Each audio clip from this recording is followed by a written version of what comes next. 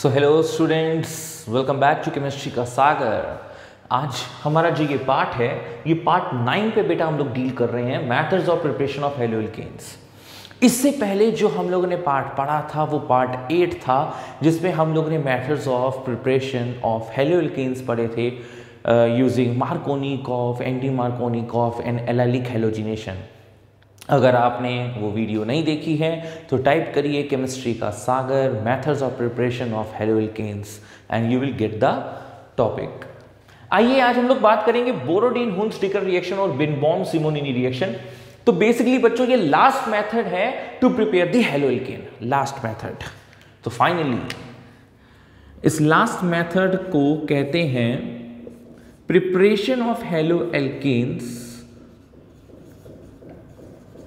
preparation of haloalkanes from silver salt of fatty acids from silver salts of fatty acids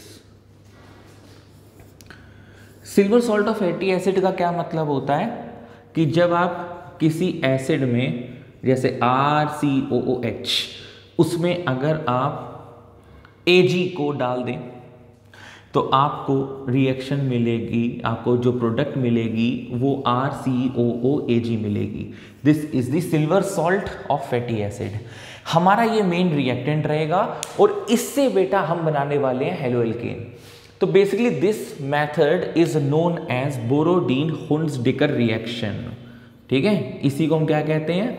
Borodin Hunsdiecker reaction तो सबसे पहले हमको एक general reaction पढ़नी है, एक नॉर्मल रिएक्शन पढ़नी है, जो हम एग्ज़ाम में अगर पूछा जाए तो डायरेक्ट दे दें, क्योंकि इसकी मैकेनिज्म आपके बोर्ड्स में पूछी पूछी नहीं जाती है। लेकिन मैं आपको मैकेनिज्म बताऊँगा डोंट वरी अबाउट इट तो ये रही इसकी बेटा जनरल रिएक्शन कि आप एक तरफ़ silver salt of fatty acid लेते हैं, उसकी रिएक्शन आप Br2 या Cl2 से करा सकते हैं, है ना?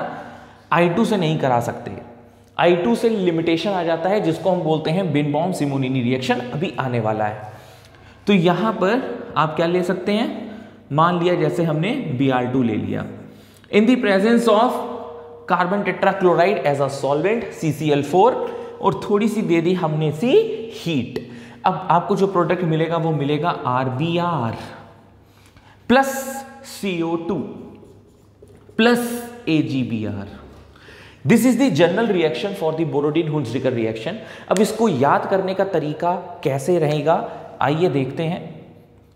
एक तरफ़ यहाँ पे दो बी आर हैं। याद करने का तरीका बता रहा हूँ। अब आप क्या याद रखोगे? कि ए जी बी आर यहाँ से निकल जाएगा। आर बी आर यहाँ से निकल जाएगा। बचेगा क्या CO2 वो भी अलग गैस के रूप में निकल जाएगी। सिंपल है। सिंपल है ना? अब इसकी मैकेनिज्म की बात कर लेते हैं। मैकेनिज्म से पहले एक छोटा सा एग्ज़ाम्पल की बात कर लेते हैं। आप इसको नोट प्लीज़ साथ साथ करते रहिएगा। हम लोग क्या करते हैं, अब यहाँ पर एक छोटा सा एग्ज़ाम्पल ले लेते हैं। फिर उसी एग्ज़ाम्पल को लेकर हम आपको मैकेनिज्म समझा देंगे। लेट से यहाँ पर आर कुछ भी ले सकते हो। This R can be C H three this R can be C two H five this R can be phenyl benzene ring भी ले सकते हैं आप। कुछ भी ले सकते हैं।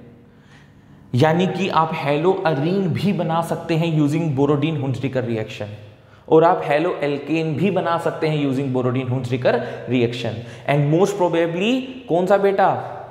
Br2 या Cl2 I2 नहीं लेंगे।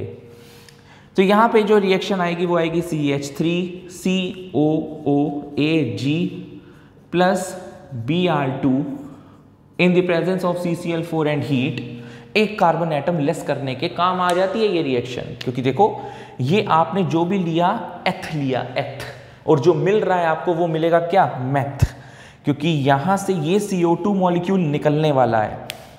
एक बी आर एजी के साथ जाएगा, एक B R C H three के साथ जाएगा. तो क्या बन जाएगा? C H three B R plus C O two plus A G B R सच सच बताना मुझे नहीं लगता कि ये रिएक्शन पढ़ने के बाद आपके दिमाग में ये घुसी ना हो। घुस चुकी होगी, बहुत अच्छी तरीके से ड्रिल हो चुकी होगी। अब इसी तरह मैं आपको इसकी मैकेनिज्म भी समझा देता हूँ। तो बच्चों, इसको नोट कर लो। बड़े ध्यान से समझिएगा कि क्या होगा। बहुत आसान है। अब आप मेरे को ये बताओ कि जब Br2 इसके साथ रिएक्ट करेगा तो O और Ag में Ag पर पार्शियल पॉजिटिव लिख सकता हूँ और O पे पार्शियल नेगेटिव लिख सकता हूँ, क्योंकि इन दोनों के बीच में इलेक्ट्रोनेगेटिव डिफरेंस है। Ag मेटल है ऑक्सीजन इलेक्ट्रोनेगेटिव एलिमेंट है। इसलिए यहाँ पे पॉजिटिव और यहाँ पे नेगेटिव जब Br2 मॉलिक्यूल इसके पास अप्रोच करेगा तो इसके पार्शियल पॉजिटिव की वजह से Br Br पे डाइपोल इंड्यूस्ड हो जाएँगे। पोलैरिटीज इंड्यूस्ड हो जाएँगी।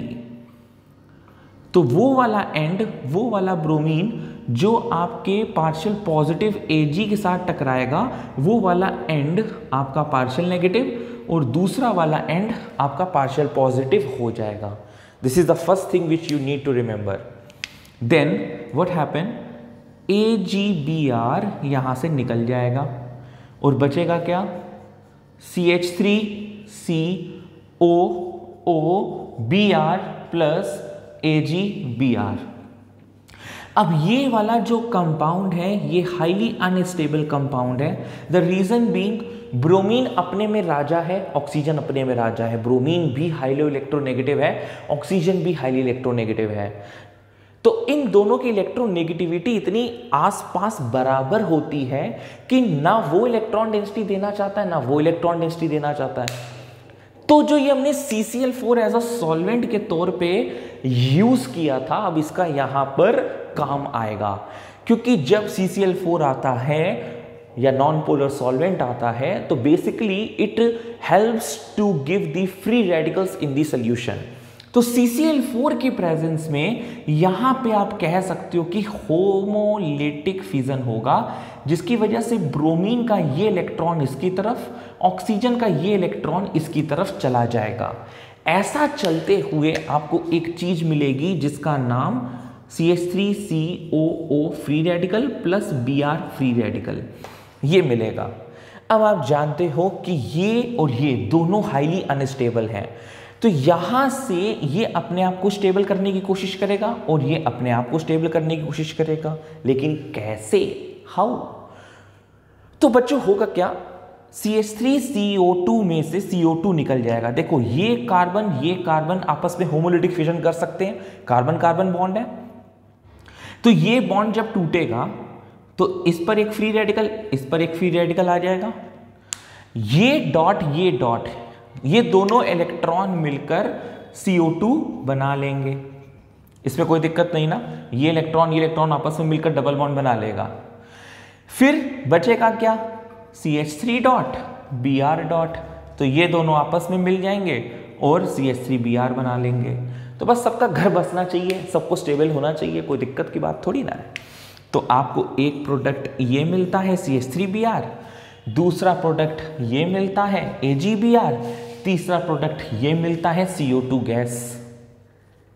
बोलो, सिंपल और बिल्कुल टू दी पॉइंट बात मैंने करी है। अब मैं बात करना चाहता हूँ बोरोडीन हुंस डिकर की लिमिटेशन की। तो इसको नोट कर लीजिएगा आप पहले। आपने देखा कि किस तरह से silver salt of fatty acid हमको अपना डिजायर्ड हेलोइल्केन देता है। लेकिन वो जो डिजायर्ड हेलो हेलोइल्केन है, वो क्लोरो या ब्रोमो के रूप में ही पाया जा सकता है। F2 का केस तो मैं आपको पहले से डिस्कस कर चुका हूँ। हाईली एक्सोथर्मिक होता है, उसके लिए स्वार्थ रिएक्शन यूज़ होती है। और अभी भी अगर आपने स्वार्थ रिएक्शन नहीं देखी है तो प्लीज़ जाकर देख लीजिएगा।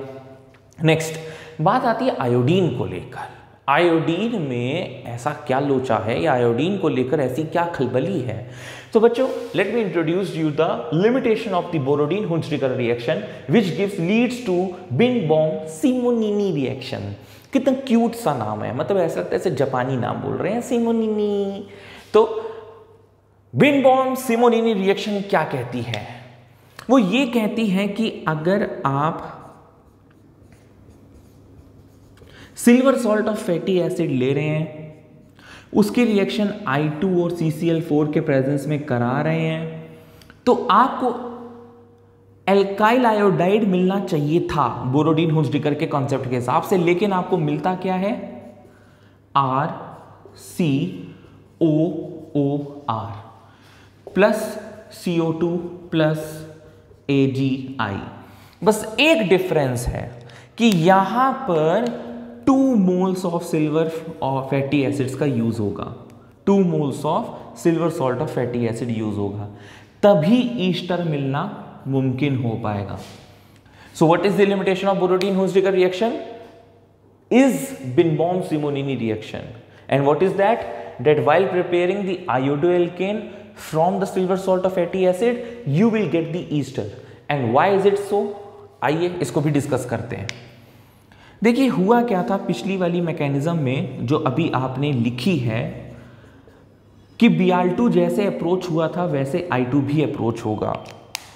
जैसे उसके पास पोलैरिटीज इंड्यूस्ड हो गई थी एजी के करीब आने पर, उसी तरह आयोडीन में भी हो जाएँगी, जिसकी वजह से ए जी आई अलग हो जाएगा और आपको मिलेगा R C O O A G नहीं sorry R C O O I plus A G I इसके बाद की कहानी भी सेम रहेगी कि सी सी एल फोर के प्रेजेंस पे यहाँ पे फ्री रेडिकल्स होंगे क्योंकि दोनों अच्छे खासे इलेक्ट्रोनेगेटिव एलिमेंट्स हैं। तो यहाँ पर आपको R C O O free radical मिलेगा आई डॉट फ्री रेडिकल अलग से मिलेगा।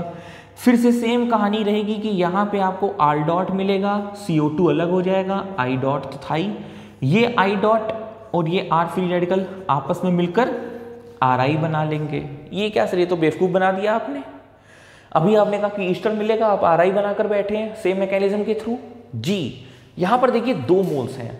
और होता क्या है, ये बात मैंने आपको nature of C X bond में बताई थी कि C F C C L C B R C I जब हम डाउन दी ग्रुप जाते हैं तो बॉन्ड लेंथ बढ़ती है, क्योंकि एटॉमिक साइज़ बढ़ता है। तो सी आई को तोड़ना बहुत आसान होता है। तुरंत टूट जाता है हाईली रिएक्टिव होता है। तो आर आई यहाँ पे बहुत जल्दी टूट जाएगा और हम क्या ले रहे हैं? दूसरा मोल ले रहे हैं। यानी कि when the second mole has been taken R C O O dot R C O O dot इस आर आई पे रिएक्ट करेगा। क्योंकि हम दो मोल ले रहे हैं ना तो दूसरा मोल हमने अब यूज़ पे ले आए। तो यहाँ पर जो ये चीज़ मिली थी, एक बार हमने फिर से बना ली। और ये चीज़ अब इस आर आई पे रिएक्ट करेगी, जिसकी वजह से इसका बॉन्ड टूटेगा। आर डॉट अलग आई डॉट अलग।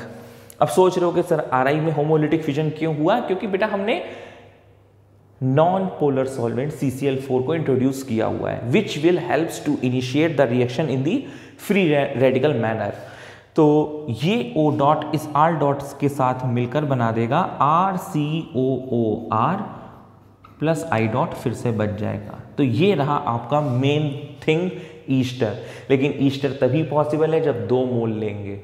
तो Birnbaum Simonini reaction I hope आपको समझ में आ गई होगी which gives you ester not R I R I तब मुमकिन होता आर आई तब मुमकिन होता जब ये एक मोल होता।